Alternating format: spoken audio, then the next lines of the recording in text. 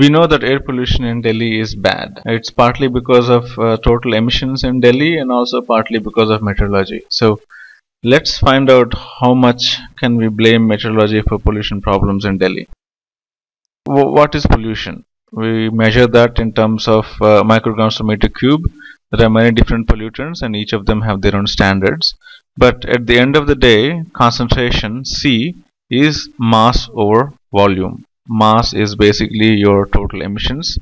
Uh, this can be tons per hour, tons per day, tons per year. And your volume is basically the air that is covered in your urban airshed. So your city might be of uh, 40 kilometers by 40 kilometers or higher or lower. And you have a, a vertical height which is allowing the air to mix and you have some uh, wind blowing through the city that will allow for mixing both vertical mixing and horizontal mixing. All that combined will define your volume. So its concentration is basically mass over volume. If you have more mass it means more emissions then your your pollution is high. Or if you have less mass then your pollution is less. In the denominator if your urban airshed is big enough which means there is more volume there's more air to mix then you have less pollution. And if your air is very little uh, to mix there is no dispersion happening then your pollution is high. So at the end of the day it's very simple it's mass over volume. Let's look at one of these meteorological parameters which is uh, uh, key in defining what your pollution levels are in the city so H this is the inversion layer. So what is the inversion layer? You have a hot earth surface. So the air closer to the earth surface is also hot. Higher you go colder the air. And hot air rises up. So if there are emissions in this area where it's getting mixed with the hot air and it's rising up so you have very high dispersion and your pollution levels will usually be lower. So what happens in uh, in case of Delhi for example your winter time your your earth's surface is cold which means the air closer to the surface is also very cold and you have colder air at the top. So between these two batches of cold air you have warm air trapped in between and it basically acts as a barrier for air to go between these two layers and also same time pollution to go between these two layers. So this is basically the inversion layer so sometimes inversion layer is way up high at 1 kilometer 2 kilometer uh, height. And sometimes it's really really down there at 20 meters 30 meters 50 meters and even 100 meters. So let's look at Delhi's inversion heights. This this is uh, an average that's taken from NCEP reanalysis data fields. And you have winter time very low mixing heights so these are daily average mixing heights. So within the day nighttime are going to be even lower uh, compared to the daytime. So on average your winter time mixing heights are lower and summertime mixing heights are higher. So going back to the same box if you have the same mass and your volume is being defined like this h and your summertime heights are higher which means you will end up seeing lower concentrations and in the in the winter time your heights are really low. Height is air is getting compressed a lot more. Lower volume means higher concentrations. Now let's look at another meteorological parameter wind speed. If the wind speeds are high then there is a possibility of uh, pollution to move around a bit. It thins out and it thins out the emissions and your concentrations will be low. If the winds are stagnant very low wind speeds then pollution is not going anywhere and your concentrations will build up and you'll have very high concentrations. Let's look at these two parameters wind speed and mixing heights and how they affect uh, in in this calculation mathematically. Let's say you have emissions of uh, say 60,000 tons per year and that would translate into so many grams per hour and your city size is uh, 40 kilometers wind speeds are 1 meters per second and your mixing height is about 1200 meters. So this would translate into mass over volume to something like this 40 micrograms per meter cube. If wind speeds were high if say the winds were as high as 5 meters per second then obviously there's a lot more dispersion and your concentrations will be even lower if wind speeds are high but mixing mixing heights are lower. So 1200 it's only 100 meters then your concentrations will be very high. If winds are stagnant and your mixing height is low then of course your concentrations will be even more higher.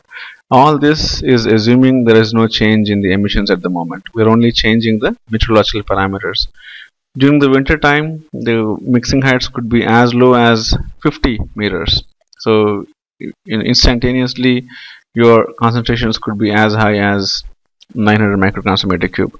So this is all relative. As an example, you can see the effect of wind speeds and, mixing height on overall concentrations that we are observing. So this is assuming that your city is like a box and everything is getting mixed uh, instantaneously. But uh, the atmosphere is not that simple. It's very complex. So uh, you have a, a wide variety of activities happening in a city some regions are urban some regions are lower some have more trees some have less trees some are more constructed less uh, some are less constructed and and the the meteorology itself is not the same even at, at, different scales at the ground level you have a different type of uh, meteorology and up in the air above you have much different types of meteorology and that will affect your concentrations very differently and each of these um, sub regions within your domain is going to have a very different type of emissions, different types of meteorology affecting uh, dry depositions and wet depositions and overall concentrations in each of these areas. The box that we assumed here is not as simple uh, as it would look, but things in reality are a lot more complicated. On top of this, you have the inversion layer. It's not that simple, but mathematically speaking, the concentrations are still mass over volume so you have higher volume, lesser pollution, lower volume, higher pollution. So what we have done is trying to understand what is the role of meteorology in terms of uh, feeding these concentrations in a complex environment.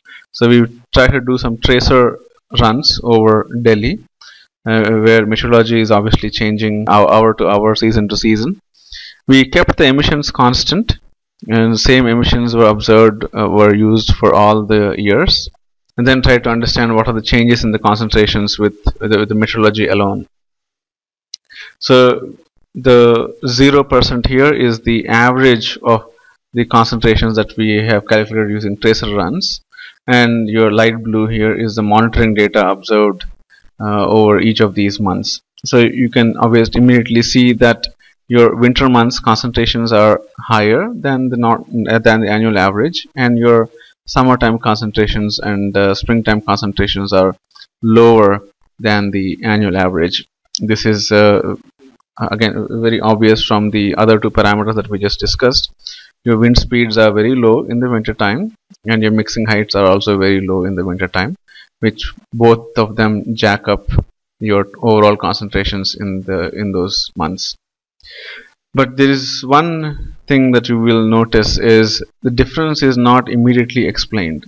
Your actual concentrations from the monitoring data that variation is much much higher than these tracer runs that we have put together so it, which means that there is another player coming into the game uh, which is affecting these concentrations or the variation in each of these seasons so it's about the emissions, the numerator of this simple equation, mass itself. So if you have more mass, then you have more pollution, and less mass, then you have less pollution.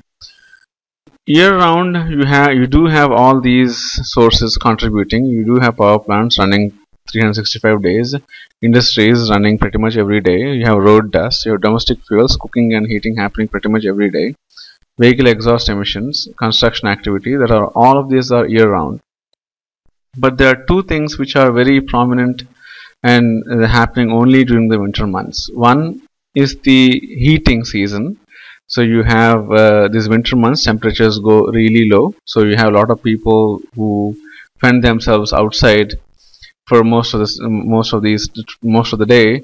So they do need heating. So they end up burning pretty much everything. A lot of times it's garbage wood coal. A lot of different fuels are used for burning.